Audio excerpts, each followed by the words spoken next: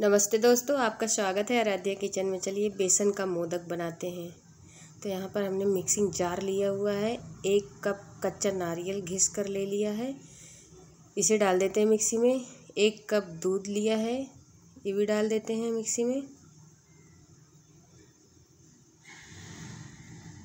ये मोदक खाने में बहुत ही टेस्टी होता है और बहुत ही आसानी से कुछ ही इंग्रेडिएंट से बन जाते हैं। एक कप हमने चीनी लिया हुआ है। अब इसको हम पीस लेते हैं। तो ये देखिए, हमने सब पीस लिया है। बहुत अच्छा पेस्ट बन के तैयार है। तो हमने एक पैन लिया है। गैस ऑन कर दिया। पैन में थ्री टेबल स्पून देसी घी डालेंगे। घी मेल्ट होने देते हैं।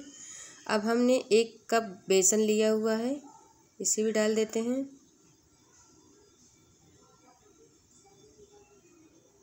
ये चने का बेसन है।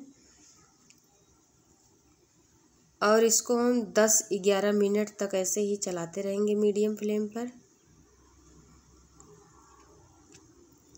जब तक इसमें अच्छा गोल्डन ब्राउन कलर ना आ जाए, इसमें से अच्छी खुशबू ना आ जाए, तब तक इसको हम भूनते रहेंगे। वीडियो अच्छी लगेगी तो लाइक कीजिएगा, चैनल को सब्सक्राइब कीजिएगा। तो ये देखिए थोड़ा थोड़ा कलर अब चेंज हो रहा है बेसन का।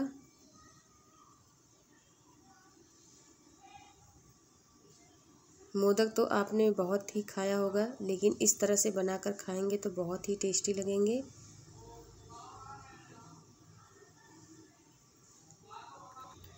बेसन में एक ख़ास बात होती है, जब बेसन अच्छे से भुन जाता है तो इसमें खुशबू बहुत अच्छी आती है। ये देखिए, कलर हमारा चेंज हो गया है बेसन का।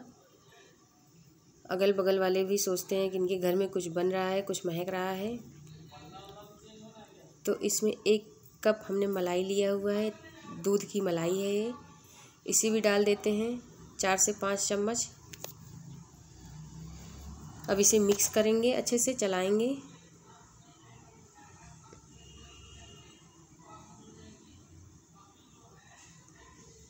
ये जब तक डो फॉर्म में नहीं आ जाता है, तब तक आप इसको ऐसे दबा के चलाते रहिए स्पैचुला से।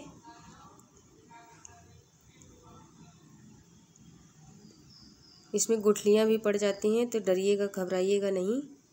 ये धीरे धीरे अपने आप सॉफ्ट होती गलती जाएँगी, ये जिस तरह से आप इसको चलाते जाएँगे। ये देखिए, बेसन में अच्छे खिल के दाने आए हैं। बेसन हमारा भरभरा हो गया है। ऐसे धीरे धीरे आप चलाते रहिए, डो फॉर्म में अपने आप आता जाएगा। इसकी गुठलियाँ टूटती जाएँगी जैसे जैसे तो हमने जो मिक्सी में पेस्ट बनाया हुआ था, ये डाल देते हैं।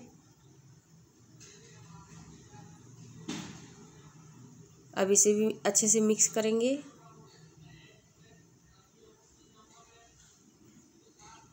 बेसन भुनने में टाइम तो बहुत लगता है।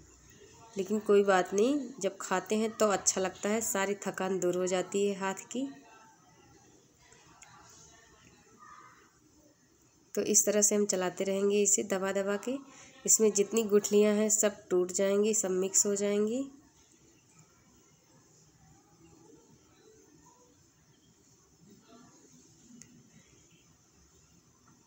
आप इसे कंटिन्यू चलाते रहिए। अगर चढ़ा, चलाना छोड़ देंगे तो ये जो है, नीचे से चिपकने लगते हैं। अब इसमें वन टी स्पून इलायची का पाउडर डाल देते हैं। खुशबू बहुत अच्छी आती है, फ्लेवर भी बहुत अच्छा आता है खाने में। इसे भी मिक्स कर लेते हैं अच्छे से।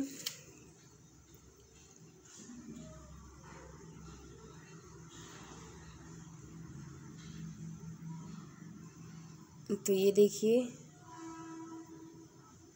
अब ये डो फॉर्म में आ चुका है। हमने गैस को बंद कर दिया है, लेकिन पैन अभी हमारा गर्म है, इसको ऐसे ही चलाएँगे कुछ देर तक। तीन चार मिनट के करीब इसे चलाते रहेंगे।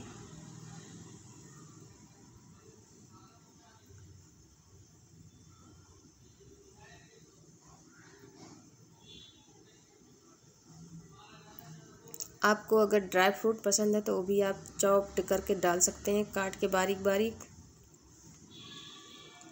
लेकिन हमने ड्राई फ्रूट का यूज़ नहीं किया है इसमें। तो ये देखिए, अच्छी तरह से ये डो फॉर्म में आ चुका है।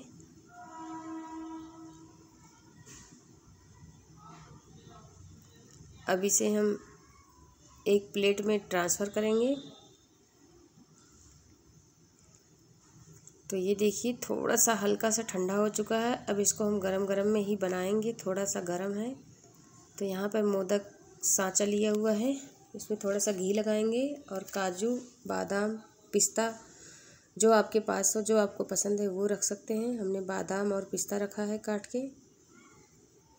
अब इस तरह से एक छोटी सी गोली तोड़कर इस तरह बना के इसमें चिपकाएँगे और इस तरह से दबा के बंद करेंगे मोदक, मोल्ड को। और पीछे से थोड़ा सा जो ज़्यादा है इसको निकाल लेंगे, दबा के भरेंगे इसमें।